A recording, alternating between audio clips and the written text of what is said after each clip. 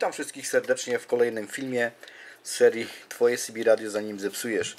Jak widzicie dzisiaj mamy na y, stole prezydenta Jacksona y, wersja pierwsza. Y, radio dosyć leciwe jak wiecie, jak wiadomo, y, ale powiem Wam stan tego radiotelefonu jest naprawdę bardzo, bardzo dobry. Yy, W radiu trzeba wyregulować moc, jest odsunięcie, przesunięcie kanału y, częstotliwości y, pod- podczas nadawania. Oczywiście prosił klient, żeby to skorygować, prosił, żeby zrobić modyfikację czy przeróbkę, tak to może nazwę, która będzie polegała na przylutowaniu masy do, do rezonatorów y, kwarcowych, które y, po prostu zmieniają pojemność y, podczas dotykania ich. Jeśli je przylutujemy do masy, nie będą zmieniały tej, tej pojemności, co za tym idzie, częstotliwość będzie stała w miejscu. To też ma wielki wpływ, ponieważ wystarczy czasem otworzyć pokrywę w tym radiotelefonie. Jeśli to nie jest zrobione, to radio już po prostu odjeżdża od częstotliwości. Po zamknięciu tego radia znowu częstotliwość nam się zmienia, więc nie będziemy w stanie, że tak powiem, wyregulować serwisowo tej częstotliwości. Yy, Czasem to się udaje, oczywiście, jak ktoś ma wprawną rękę i wie co robić, to, to na pewno to zrobi. Yy, Ale lepiej takich problemów unikać, więc można to yy, przerobić sobie również w własnym zakresie. Klient prosił też o podniesienie mocy w AM-ie, FM-ie i- w SSB, no, ponieważ ta, ta moc nie do końca, nie do końca jest taka jak, jak, jak powinna być, czy, czy tak jak y, klient y, tutaj sobie tutaj, że tak powiem, zażyczył. Y, Dobrze, więc zabieramy się do pracy. Y, Ja pokażę wnętrze tego radia, zobaczymy, odkręcimy radio, zobaczymy jak ono wygląda w środku. Mamy tutaj widok radia od strony płyty drukowanej elementów. Jak widzicie, wszystko jest y, jakby oryginalne, nawet końcówki mocy podejrzewam, że są oryginalne, ponieważ nie były tutaj specjalnie wylutowane. Jeśli już ktoś wylutowywał i wymieniał, to zrobi to bardzo dobrze, ale wątpię. Y, Wszystkie ścieżki są bardzo w fajnym stanie. Y, Luty są świecące, nie ma żadnych matowych lutów, które mogłyby wskazywać na jakiekolwiek e, na jakiekolwiek znamiona zimnych lutów, prawda? Otworzymy teraz drugą stronę. Ja radio mam cały czas włączone yy, do zasilania, ponieważ radio muszę wygrzać przed, yy, przed yy, strojeniem i, testami. Zobaczcie, wszystko wygląda bardzo fajnie, czyściutko, elegancko. Filtry nie są kręcone, więc tutaj wszystko jest jak w naj- najlepszym porządku. No poza filtrami, które po prostu, które po prostu trzeba tutaj ustawić od odbiornika i nadajnika. Trzeba zrobić porządek z tymi filtrami. Ja Wam za chwilę zademonstruję na czym to polega, jeśli chodzi o te, o te rezonatory kwarcowe, które zmieniają pojemność podczas dotykania ich. Jeśli je zmasujemy, tego już nie będzie. Więc ja sobie tutaj odlutuję przewody głośnika, yy, podłączę głośnik zewnętrzny, żebyście mogli to usłyszeć. No i wtedy, wtedy będziecie wiedzieli o co chodzi. Podłączyłem już głośnik zewnętrzny, jak słyszycie, ale zauważyłem też, że przełącznik band, tutaj bandów o, nie zawsze styka, więc trzeba go będzie tutaj, tak powiem, kolokwialnie psiknąć, żeby w środku nabrał tam styków jakimś kontaktem. Przełącznik emisji jest ok. Skład jest dobry, nie trzeszczy. O, troszeczkę RF gain trzeszczy, ale tego, jego też się y, z, zreanimuje. Dobrze, pokażę Wam teraz jak wygląda sprawa tego, tego kwarcu, yy, tego rezonatora kwarcowego, który zmienia pojemność. Włączymy sobie częstotliwość na generatorze, żebyście mogli yy, zaobserwować yy, jak to jest, więc dla USB pamiętajmy, włączamy, żeby tutaj zobaczyć falę nośną, usłyszeć falę nośną w ogóle, włączamy o 1 kHz, odstrajamy generator wyżej, jeśli mamy 27 205 musimy zrobić 27 206 więc ustawiamy generator na 27 206 teraz mamy równe 205 ale to wynika z odstrojenia. Teraz już nie jest w piątkach idealnie.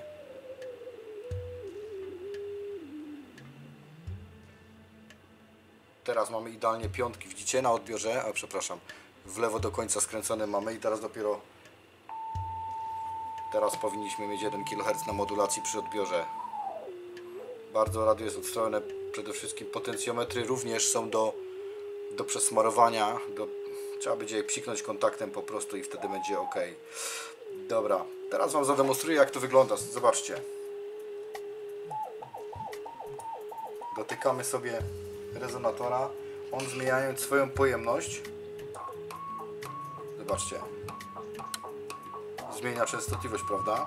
Jakbyśmy słyszeli korespondenta, on by się nam odstrajał tutaj.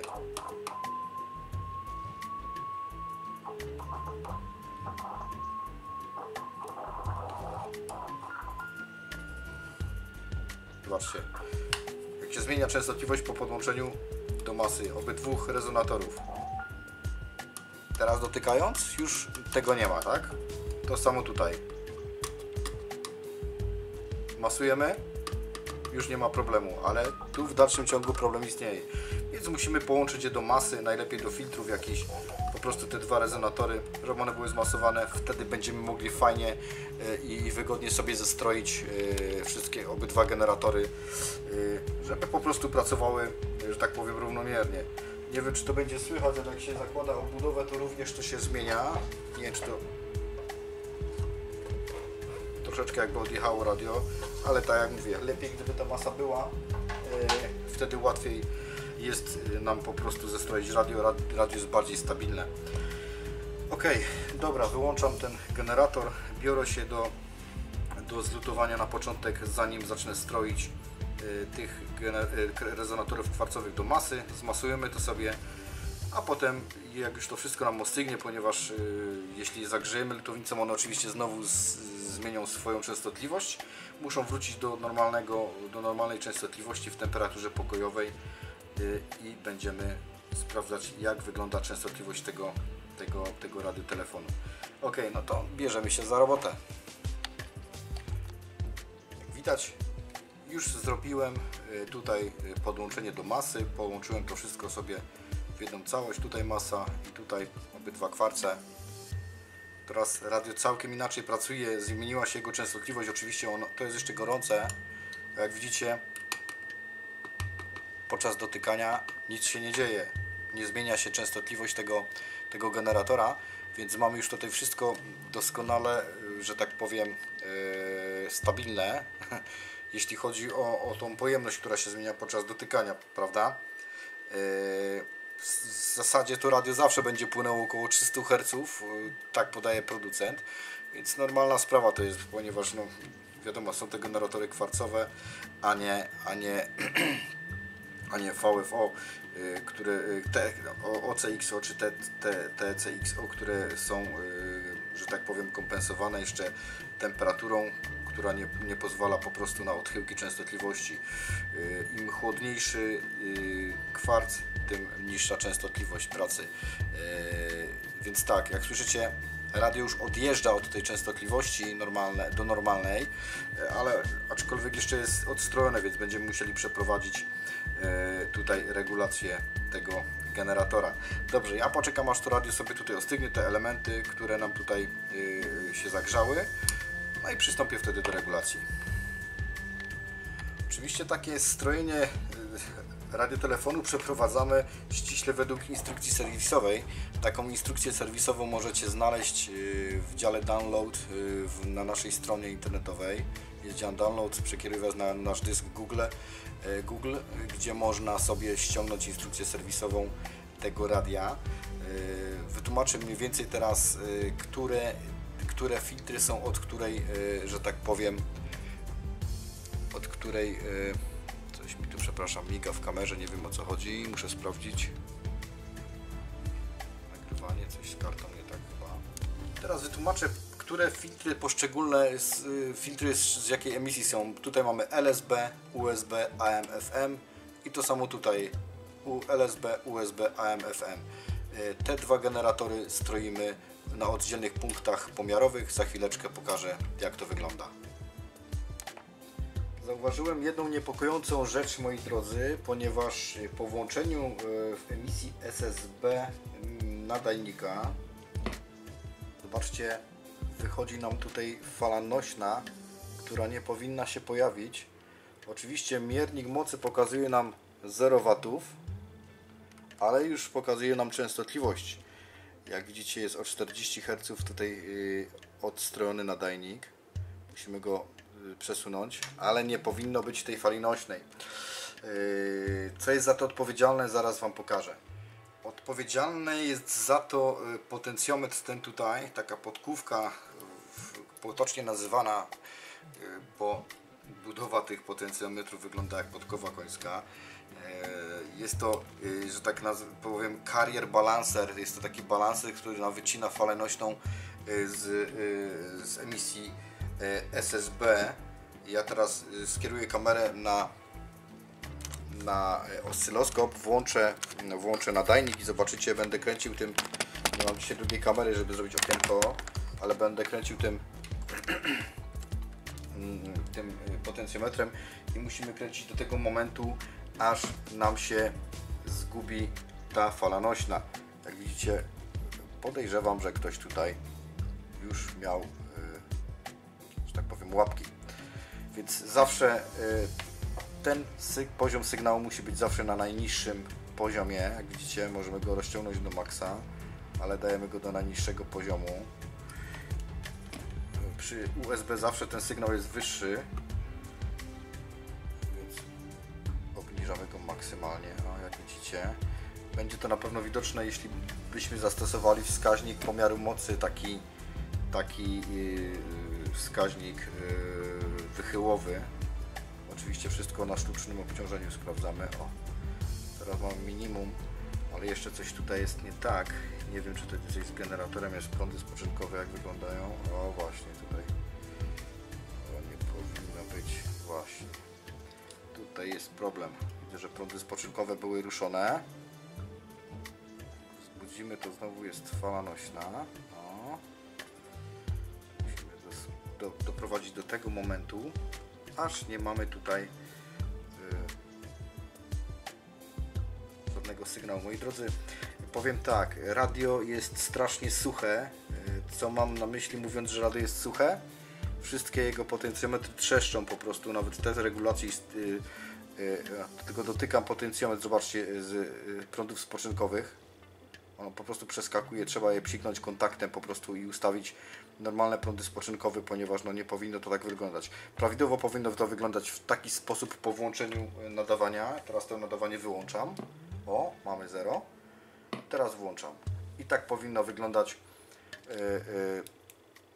przebieg tutaj na oscyloskopie. Nie powinien się pojawić żaden, żaden e, że tak powiem, odczyt. Dobra, ja się zabieram za e, robotę z tymi potencjometrami oczywiście i za chwileczkę wracamy. Potencjometry już sobie wstępnie nasmarowałem yy, i teraz Wam opowiem, który potencjometr w tym radiotelefonie do czego służy. Więc tak, na początek, jadąc tutaj od góry, tutaj mamy dwa potencjometry od biasu, to znaczy prądów spoczynkowych stopnia końcowego mocy. Yy, Oczywiście te prądy spoczynkowe ustawiamy ściśle według e, ściśle według e, instrukcji serwisowej, którą podaje producent. E, Oczywiście do strojenia nadajnika, odbiornika tych filtrów e, wyciągamy sobie tą, e, że tak powiem, szynę, która tutaj zasila nam stopień końcowej mocy i tutaj w tych mm, dwóch punktach mierzymy amperomierzem prądy spoczynkowe. E, Tutaj mamy potencjometr, e, który jest odpowiedzialny za e, za e, ustawienie S-metra, to znaczy S-metra po mocy wyjściowej RF Power. E, On tutaj jego się ustawia oczywiście również wszystko według instrukcji serwisowej, e, po prostu wskazania mocy wyjściowej. Tutaj mamy AMC, to jest ogranicznik amplitudy wyjściowej modulacji w emisji AM. Tutaj mamy ALC, to jest ogranicznik wyjścia, że tak powiem, mocy modulacji w emisji SSB. E, Tutaj mamy y, skrót mocy, że tak powiem, y, regulację mocy wyjściowej AM-FM. Tutaj mamy S-metr, ustawienie wskaźnika siły odbieranego sygnału. A tutaj mamy squetcha, y, blokada szumów, poziom blokady szumów. Ten potencjometr, jest odpowiedzialny za, za ustawienie dewiacji w emisji FM e, to znaczy siły e, głośności modulacji, tak prosto to mówiąc. Tu oczywiście, jak widzicie, już mówiłem, to jest e, że tak powiem, balancer tego, tego, tej fali nośnej z emisji SSB. I tutaj mamy jeszcze taki jeden schowany y, potencjometr pod tą płytką. To jest y, potencjometr, który jest odpowiedzialny za y, ustawienie częstotliwości TX-a, to znaczy nadajnika, prawda? Y, Zawsze przy tej y, instrukcji, y, przy tej, przy tej, przy tej strojeniu tego odbiornika ustawiamy wszystko tutaj w tych filtrach, a w pewnym etapie musimy ustawić sobie na wyjściu tutaj odpowiednią częstotliwość na tym potencjometrze, żeby nam się zgadzało to z nadajnikiem. Tyle by, by, byłoby, jeśli chodzi o ustawienia, ustawienia o, o, o odpowiedniki tych potencjometrów, do czego one służą, tak to powiemy. Y, Tutaj oczywiście mamy regulację generatora, tu mamy y, cewki, filtry od, od y, generatora nadajnika TX-a, tutaj wysterowujemy maksymalną moc, oczywiście te wskazania tutaj powinny być wszystkie na max, y, na oscyloskopie. Oczywiście mm, można to zrobić w własnym zakresie, ale y, proponuję, jeśli nie macie jakiegoś y, takiego sprzętu pomiarowego typu oscyloskop, to raczej się za to nie zabierajcie, ponieważ można sobie zrobić więcej szkody niż pożytku. Zlećcie to serwisowi. Tutaj mamy y, filtry pasmowe, tutaj mamy filtr y, ANLNB, Y, nie mogę się wysłowić. Oczywiście tutaj jest część FM-owa, y, y, to jest filtr od, od, od AM-u, FM-u, tutaj od filtra PC. Tutaj jest filtr od FM-u, a tutaj mamy potencjometr jeszcze, który tutaj na stabilizatorze napięcia jest, wysterowuje, przepraszam, nam całą, całe napięcie tutaj na wyjściu. Oczywiście tranzystor modulujący, trans, wzmacniacz audio, który nam wzmacnia sygnał MC. Dobra, to by było na tyle. Ja się zabieram za strojenie tego. Yy, tak mówię, nie będę tłumaczył co i jak yy, się stroi, ponieważ większość już tutaj, tutaj powiedziałem. Tutaj jest yy, tor odbiorczy, tutaj tor nadawczy generatora, e, więc wszystko można sobie, jak już wcześniej powiedziałem, przeczytać w instrukcji serwisowej, która jest dostępna pod linkiem na naszą stronę. Link wrzucę pod, yy, link do strony wrzucę pod, yy, oczywiście pod yy, filmem będziecie mogli sobie sprawdzić i, i ewentualnie ściągnąć. Sprawdźmy sobie teraz jak zachowują się te potencjometry już po, po zestrojeniu. Jak widzicie już włączyłem nośną, już tu nie ma nic po prostu, jakby sygnał nie leciał. Oczywiście sprawdzimy jeszcze sobie tutaj, a nie włożyłem sobie tej, ok w ten sposób. Teraz już sobie sprawdzamy, o robimy niski sygnał. Oczywiście prądy spoczynkowe też będę ustawiał, po prostu ten wzmacniacz jakby się wzbudzał tak to wygląda. Jeszcze go tutaj coś boli, więc to te potencjometry po prostu tutaj o, w ten sposób. Bardzo dobrze. Więc teraz możemy sobie ten wysterować ten cały dużo moc tutaj leci nam. O, tak powinna wyglądać amplituda powinno jej nie być w ogóle tej amplitudy wyjściowego sygnału tutaj przy emisji SSB, prawda? O, tu mamy USB, górną wstęgę, dolną wstęgę. Dolna wstęga ten sygnał zawsze ma y, mocniejszy, także y, to jest normalna sprawa, także tym się nie przejmować. Y, więc mamy już y, załatwioną sprawę, jeśli chodzi o wysterowanie tego, tego tutaj tego wycięcia tej fali nośnej po prostu z y, nadajnika, prawda? Teraz będę stroił y, generator, który jest odpowiedzialny za emisję AM, FM. Y, One, te generatory y, dla AM, FM, przepraszam, jest jeden generator, więc powinniśmy mieć częstotliwość y, 16900, y, przepraszam, 16 MHz, 490 kHz, więc musimy to dojechać, bo widzicie jest dosyć zdrowo odkręcany. y, Odkręcony jest to filtr, L, filtr L14 kręcimy go w prawo, więc musimy go tutaj dostroić. Yy, Najlepiej zrobić, że tak powiem, to jakimś pomiarem częstotliwości. Oczywiście w tych radiotelefonach producent, producent zawsze podaje plus minus 20 Hz. Także jeśli tutaj będzie 99 na końcu, tym się nie przejmujcie. Ja zawsze staram się zrobić, żeby tak było o, na styk do równej częstotliwości, yy, ponieważ ta częstotliwość zawsze będzie się zmieniała z temperaturą, w której radio będzie się znajdowało. Mamy już ustawiony generator 16490. Teraz przechodzimy do emisji USB powinniśmy mieć 16495, a mamy 48624, więc cewka L15 oczywiście musimy ją wykręcić. Oczywiście wskazania wszystkich pokrętów musi mieć na godzinie 12, pamiętajcie.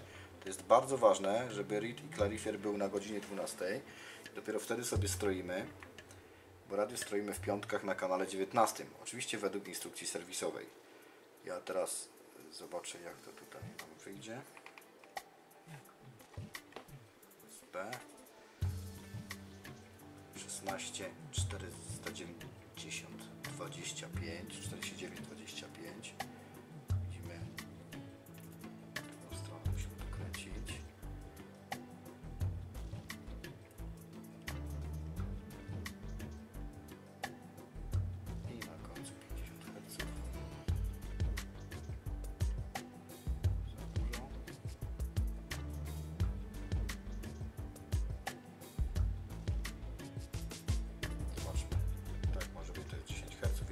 szału.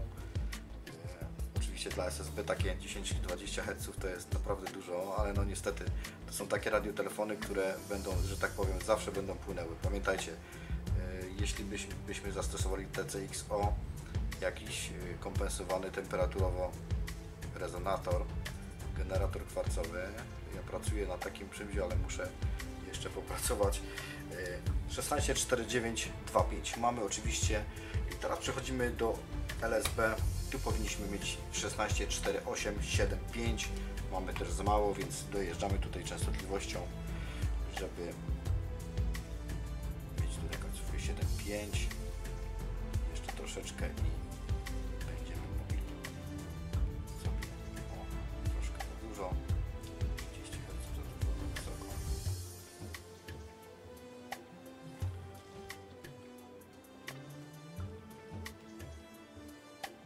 bardzo powiem Wam żmudny proces, jeśli chodzi o takie radia. No i pamiętajmy, żeby to robić w temperaturze pokojowej mniej więcej, bo to jest bardzo ważne.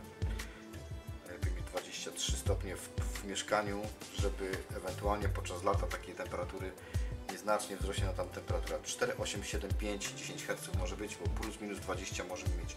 Ok, super. No i teraz mamy, y, mamy teraz już zestrojone. Teraz przepinamy się do innego pinu, bo to, to oczywiście mierzymy, nie powiedziałem, na pinie TP3, który jest usytuowany tutaj. Zobaczcie, ja Wam pokażę. Ten pin jest usytuowany w tym miejscu. Na pewno go widać, to jest taki rezystor. Y, Moja kamera tutaj jest przez lampę. O, właśnie tak. Jak widzicie, jest tutaj. Tu, gdzie podłączamy sondę do, do y, miernika częstotliwości zewnętrznego, to do tego podłączamy sobie tą, y, tą sondę pomiarową oczywiście. A teraz będziemy się podpinać do, do, do mm, punktu TP4. Tu też jest rezystor.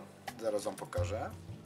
I teraz podczas nadawania, y, oczywiście stroimy teraz y, tutaj generator nadajnika y, i zaczynając od LSB z powrotem, bo tak, tak, tak wygląda to w, w serwisówce, jest to TP4 i R104 opornik. Do tego opornika on jest taki nie, nie lakierowany, to można to potem poznać. I powinniśmy mieć 106975, a mamy 9697598, więc musimy tutaj sobie odjechać tą częstotliwością tutaj troszeczkę na dół. Jak widać jest to za, za dużo. Ok, musi być równe oczywiście.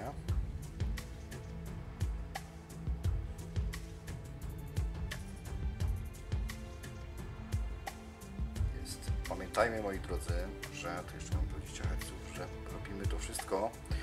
E, zobaczcie, wystarczy tutaj lekko dotknąć. Jak widzicie, bardzo to jest czuły p- tutaj, że tak powiem, element, który naprawdę po, mm, wymaga wielkiej precyzji.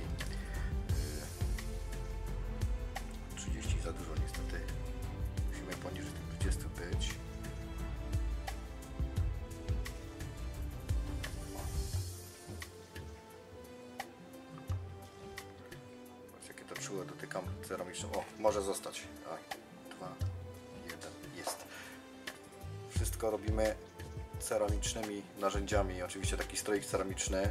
Ta dwójeczka na, na tyle już niech zostanie, powiem Wam szczerze, ponieważ no 20 Hz to jest taka góra.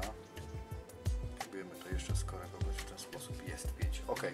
I wystarczy nam tak to co mamy. 10, 69, 75 i 00. Mamy OK. Teraz USB emisja i w USB powinniśmy mieć częstotliwość generatora 106925, a mamy 69 yy, 6925 i 29, oczywiście 30 Hz. Znowu trzeba się tutaj obniżyć. Jest to filtr L23. Yy, Już je tam wcześniej Wam objaśniałem, więc już jedziemy tutaj na dół jeszcze. Ok, za mało, za dużo, za dużo troszeczkę. Powiem Wam tak. y, Będę tutaj budował taki miernik częstotliwości, który będzie przy, przystosowany do strojenia tych generatorów. Y, To będzie zwykły, normalny miernik częstotliwości y, PLJ PLJ 8 LED. Także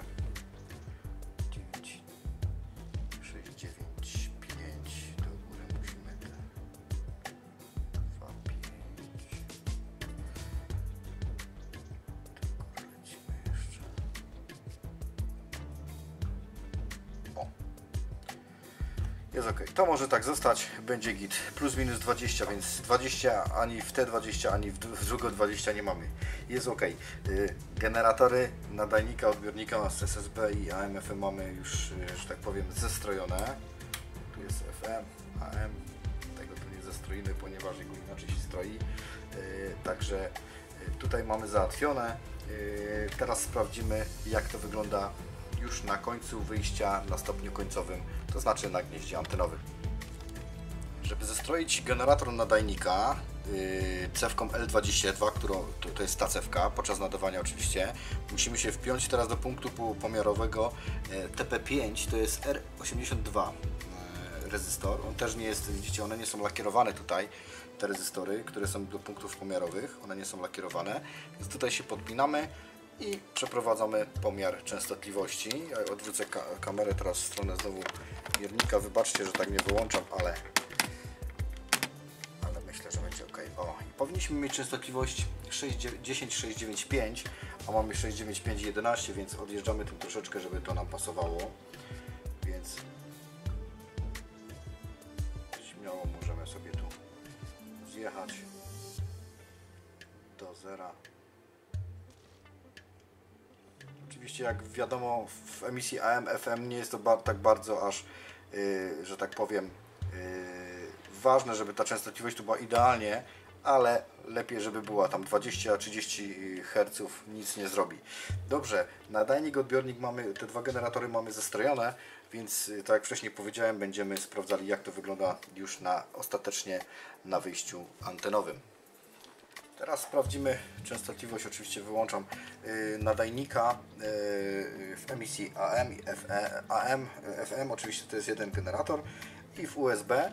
Yy, podłączyłem też oscyloskop, żebyście mogli za, zaobserwować, że wymusiłem tutaj sobie falę nośną z tego mm,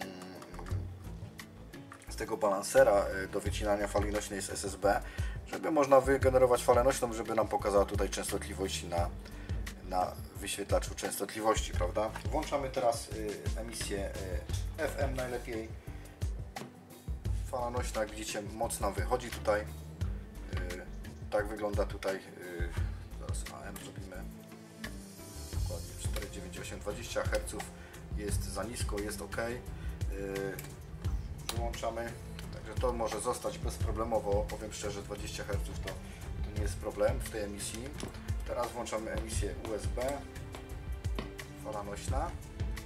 Jak widzimy mamy idealnie 27185, ponieważ sprawdzam to na 19 kanale. Sądy oscyloskopowe i do pomiaru mam podłączone tutaj do wyjścia antenowego. I oczywiście te sądy musimy włączyć sobie razy 10 ten pomiar.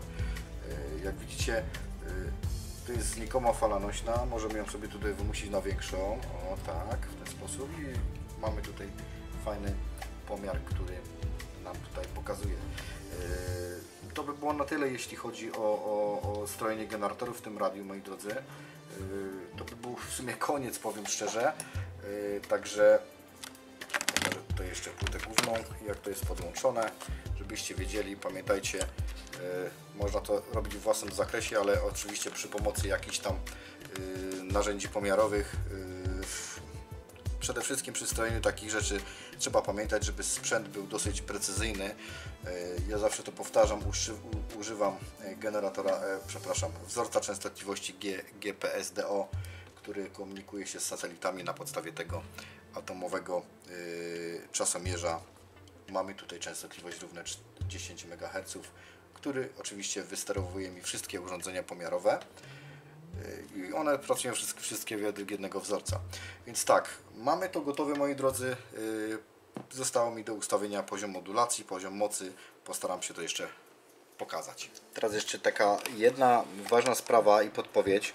Moi drodzy, jeśli takie radio już mamy bardzo dobrze zestrojone, yy, prawidłowo zestrojone powiedzmy, yy, radio nie powinno wykazywać żadnych, że tak powiem, wyjść. Powiedzmy, jeśli generator ustawimy sobie w zera, tak jak Wam tutaj pokażę, jeśli generator mamy yy, ustawiony w zerach, jak widzicie, yy, jest równa częstotliwość 27205 i tutaj też mamy zrobione 205, ponieważ mamy w rowku gałkę, a jesteśmy w piątkach i po włączeniu generatora powinniśmy wi- widzieć sygnał S9, tak jak tutaj widzicie. Oczywiście przy odpowiednim wpuszczeniu sygnału z generatora do anteny, minus 73 dB, dBm i po włączeniu głosu powinniśmy słyszeć po prostu taki szum.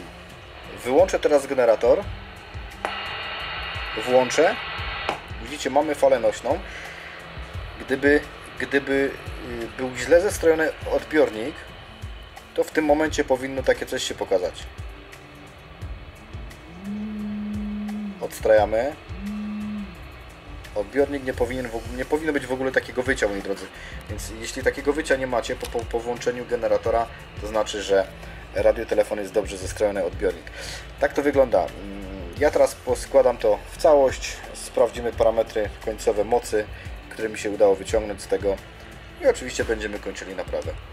Teraz końcowe parametry nadajnika. Yy, sprawdzimy sobie teraz moce w emisjach AM i SSB. Oczywiście AM FM to jest ta sama moc, emisja FM. 10,2 W, 10 W, emisja AM, sama nośna 10 W, z modulacją 19 W. W zupełności wystarczająco, naprawdę takim, ze, takim y, że tak powiem, zestawieniem na pewno to radio dalej poleci, że tak powiem. Emisja SSB. Włączamy nadajnik, oczywiście prawidłowo, bez żadnego sygnału. Włączamy generator 35 W PEP. Moi drodzy, tak wyglądają parametry tego nadajnika. Oczywiście odbiornik jest w normie, jeśli chodzi o czułość. Yy, Sprawdzałem oczywiście dla, mówię to już od razu dla ludzi, którzy są wścibscy i nieżyczliwi, że obwiednie też sprawdziłem, nie ma przemodulowań ani przy niskiej mocy, ani przy wyższej mocy, także e, obwiednia modulacji sygnału jest ok na oscyloskopie. Yy, to by było na tyle, jeśli chodzi o tą naprawę. Stan tego egzemplarza oceniam na bardzo dobry, powiem szczerze, w skali od 1 do 10 daję mu 8 punktów.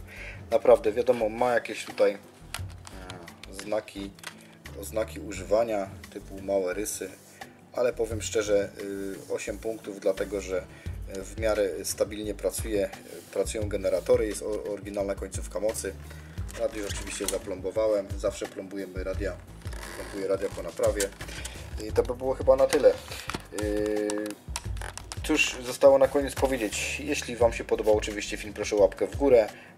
Jeśli chcecie być informowani o wszystkich nowościach na moim kanale, oczywiście subskrybujcie kanał i nie zapomnijcie o naciśnięciu y, dzwoneczka obok przycisku subskrybuj, żeby dostawać na bieżąco wszystkie powiadomienia. Moi drodzy, jeśli nie ma, macie jakiś problem ze swoim sprzętem, nie jesteście pewni, że jesteście w stanie to zrobić w własnym zakresie, oczywiście zapraszam do naszego serwisu. Link do naszej strony y, internetowej jest y, pod filmem zawsze. Na naszej stronie macie dostęp do serwisówek różnych radiotelefonów. Oczywiście w miarę możliwości będzie się ta baza powiększała. Jest tego około 50, 15 GB, więc to jest naprawdę, naprawdę dużo, jeśli chodzi o same foldy, o same pliki PDF, także szukajcie czego potrzebujecie. Link oczywiście do tego umieszczę, mm, do naszej, do naszej strony umieszczę pod filmem, jak wcześniej powiedziałem. No i czy oczywiście zapraszam y, do robienia łączności. Życzę dalekich potwierdzonych łączności, wielu, wielu, naprawdę wielu łączności niezakłóconych. Pozdrawiam Was serdecznie, 73 amatorskie.